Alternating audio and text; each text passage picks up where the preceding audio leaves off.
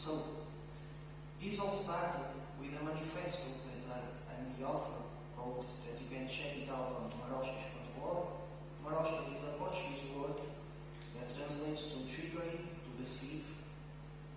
It started in 12, 2011 because of a fraud that is still occurring in the transport ticketing system of the city of Porto, in the light rail network. Basically, they are charging different prices for the same route from point A to point B and from B to A, even if it's the same route. And I wrongly estimate more than half a million of illegal profits being committed. So, at the time, the manifesto had some media impact, and even some uh, opposing parties made questions to the government, asking them why, if they were aware about this, and if they would, what they would do about it. Nothing was done until nowadays. So I start to think, why this political incapacity? Who are these people that are representing us?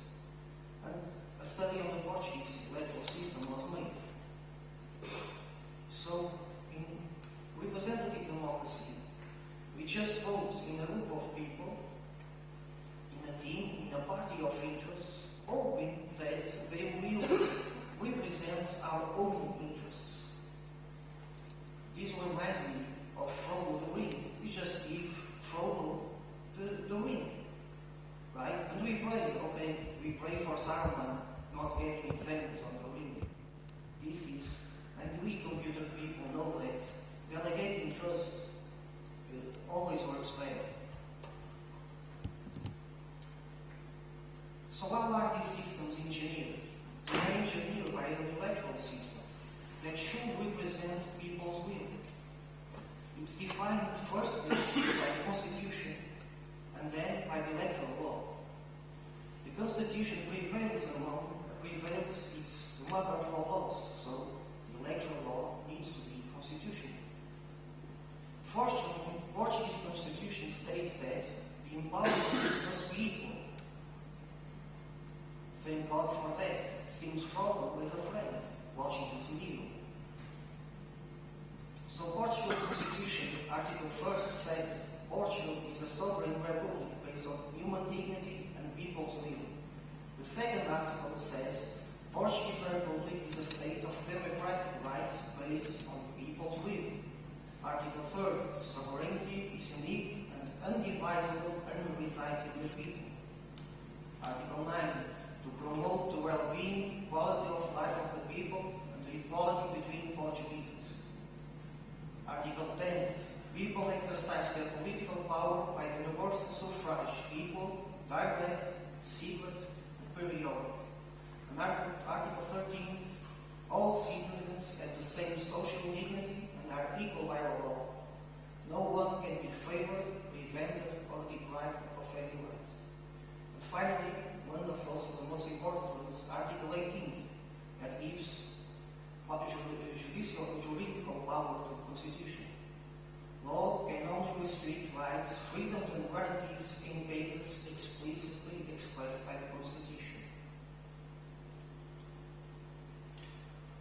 it seems the Constitution is helping us, but Saruman is a lie. That of a mathematical like sorcery. So before I explain these Saruman tactics, I will talk about two seat allocation methods commonly used. One is the method. It is basically uh, a method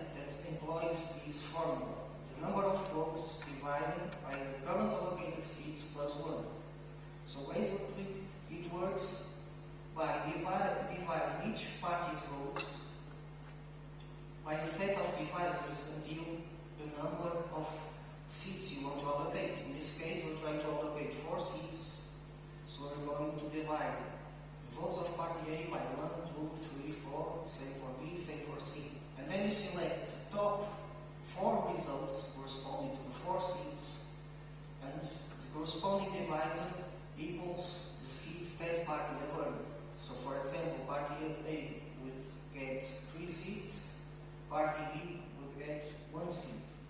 If a tie happened, the seat will be given to the party with less seats. Another one is the Sainte-Laguë method, which is basically the same thing, but instead of dividing by 1, 2, 3, 4, you divide by 1, 3, 5, 7. Well, that is the number of votes divided by 2 times the currently allocated seats plus 1. In this case, the results will be the same. So, how is the Portuguese electoral system designed? Firstly, the electoral law says that the mainland is divided 18 uh, electoral circles corresponding to the 18 districts of the mainland. Another two are attributed to the autonomous regions, of Açores and Madeira. The remaining four seats from the 23rd, 230 seats that are available for distribution.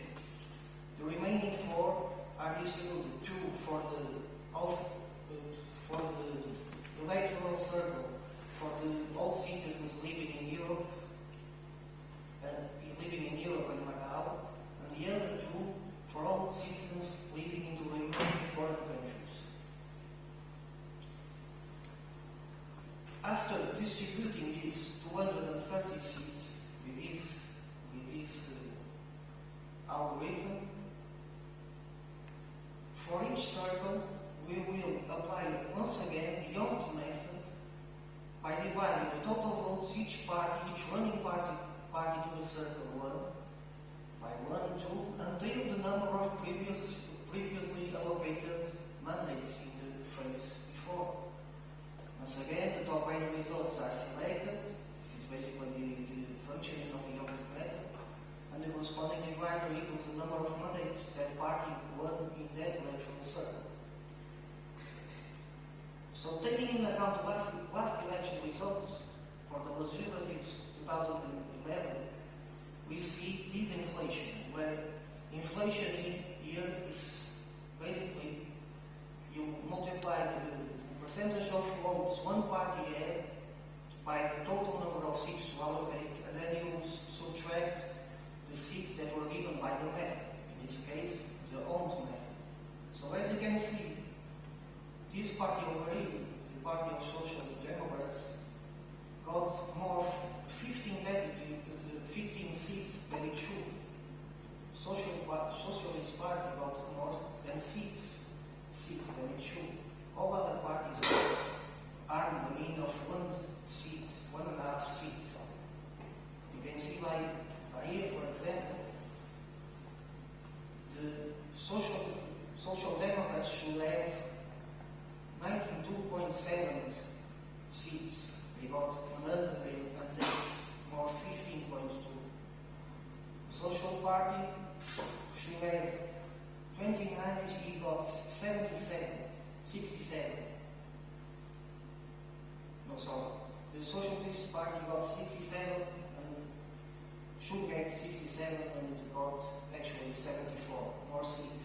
You see, the left parties being armed 4, 6, 4, 6, Islam still sees. If you apply the other method, the Sainte-Laguë method, you see that this proportionality is substantially reduced. You see that ideally we would want that we have a line already around zero, but that's not possible because of, of the rounding, right? But at least we need to do our best to, as Constitution says, make our, our empowerment equal. Because as the Constitution says, uh, the, the,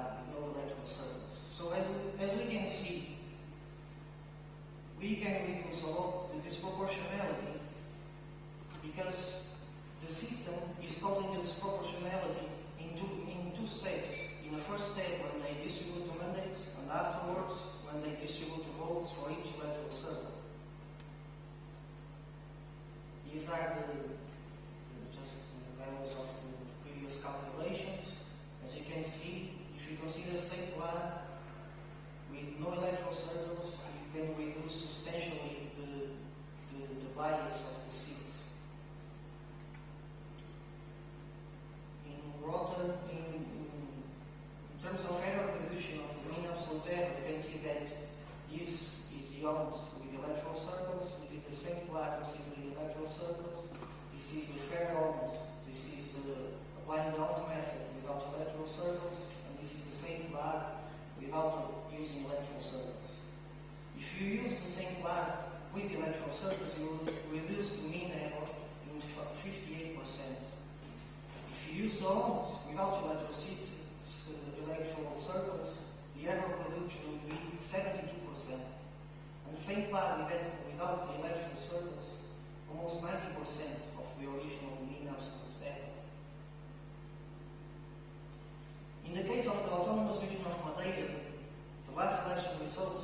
involves even more complicated. In the case of region of Madeira, they consider only one electoral circle, and they have 47 mandates to distribute, 47 seats. So what happened is that the Social Democrats didn't got the majority, more than half of the votes. Nevertheless, they got the majority. So, if you apply the old method as described in the electoral law for the regions autonomies of Madeira, you would expect you will get 25 seats plus 1.5 than they should. So actually they got a majority without needing to do a coalition that time with another part. If you apply the same plan, they would be armed 0.4, that would be 23 mandates, 23 mandates, and they wouldn't get a majority. But this is a case where a very as you can see, the expected Monday to be 23.446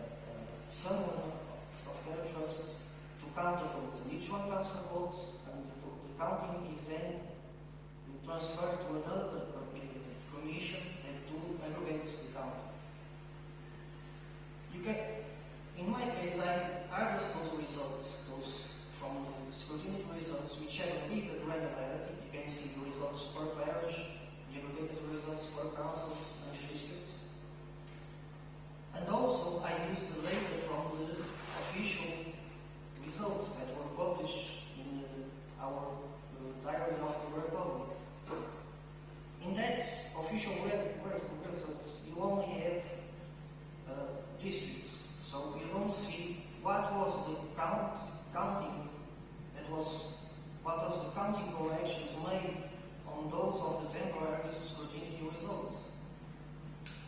And in my opinion, that will be very good to have, because that way you can see if there is, there is someone, someone trying to get advantage by changing a little counting just to influence the rounding by the method that is applied. Because that way you cannot see the, if there is being results being manipulated at lower, lower levels of the counting in this case, in certain parishes, so that you apply the old method for that electoral circle, you wouldn't actually see it.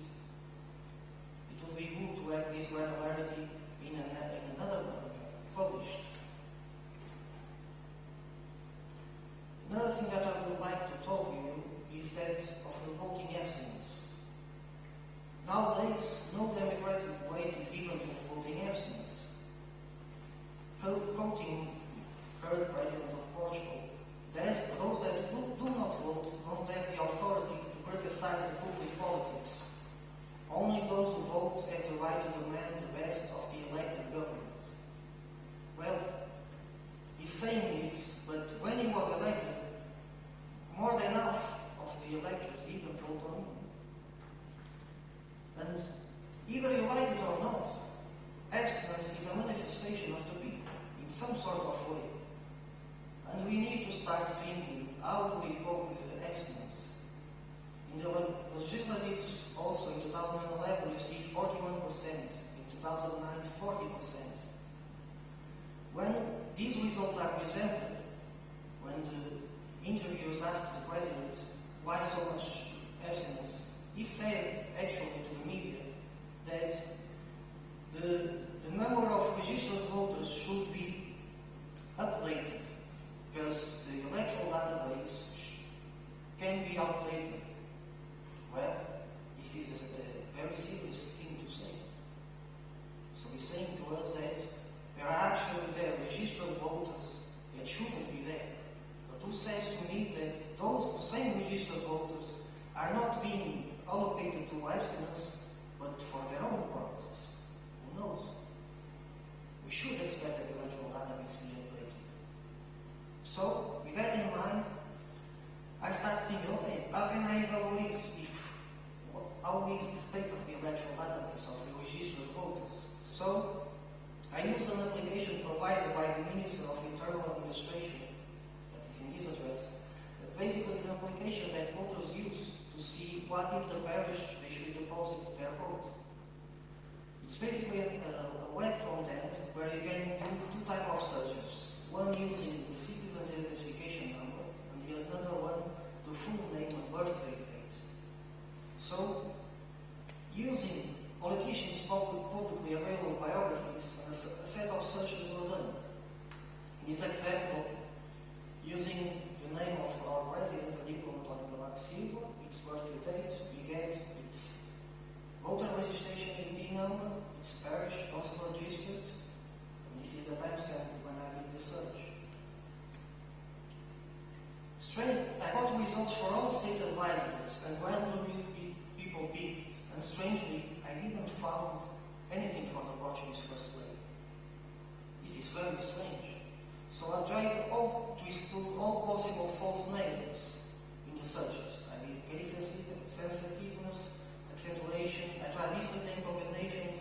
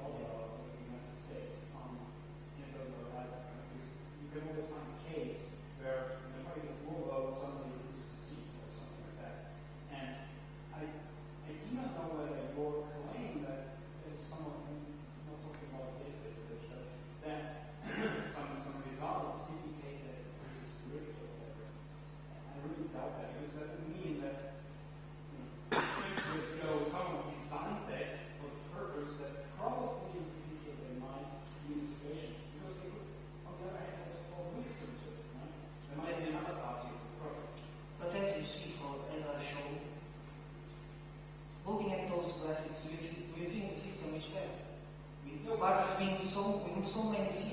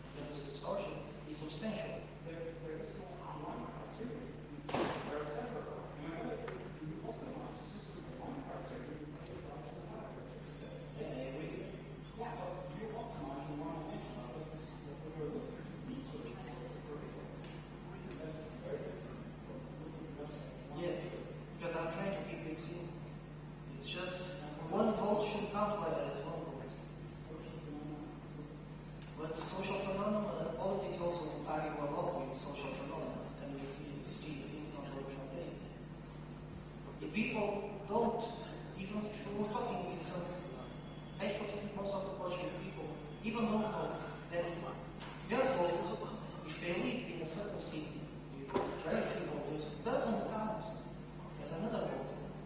So how can you socially, on this social living, you're applying a criteria, and at the same time you see politicians saying, ah, but I want those regions to develop. Those votes of those people with their own preoccupations doesn't count. So I try to strategically think, okay, just try to minimize.